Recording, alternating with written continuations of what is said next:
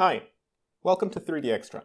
Today I want to discuss a setting in Chitubox that is often talked about but is seemingly misunderstood, and in my opinion, terribly executed. I'll also tell you what my ideal alternative for this would be and how to do it. For the purpose of this explanation, I am ignoring the jerk and acceleration settings of the machine just to make calculations a little bit easier.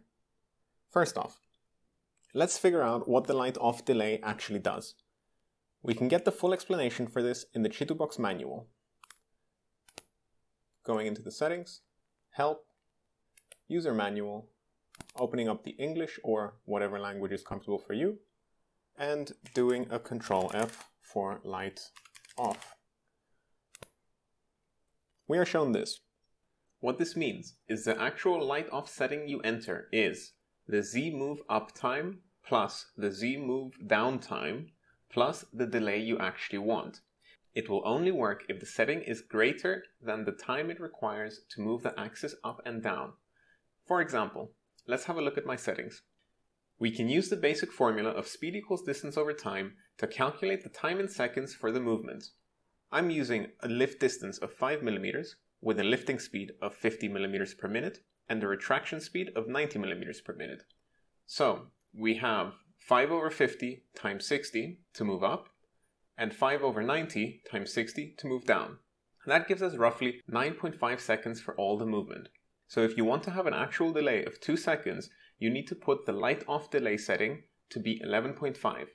Any value that is lower than 9.5 seconds will give you no delay at all. So why is this claim to be useful? One argument for this is that it allows the LCD a little bit extra time to cool down. This can indeed be considered a benefit. We all know that LCDs in these machines are consumables and they degrade over time. This degradation is further sped up by exposing it to excess heat.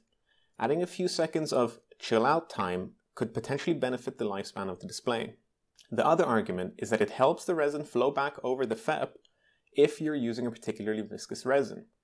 This claim would be valid if the delay was added at the top of the Z lift sequence.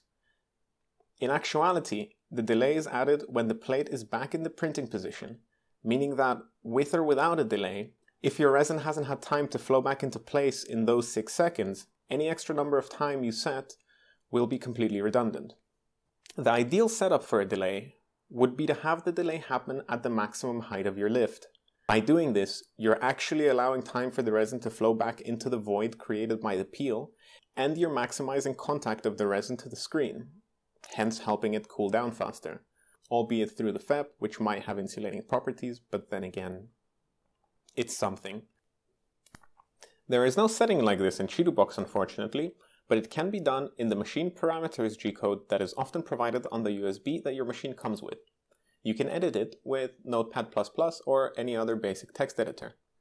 What we're looking for is M8016 space D. We find it around line 52, and this is what we want to change. This is the retention time after the z-axis rises to the highest point. The unit here is in milliseconds, so if we, for example, want to set a 2 second delay, we need to change this value to 2000.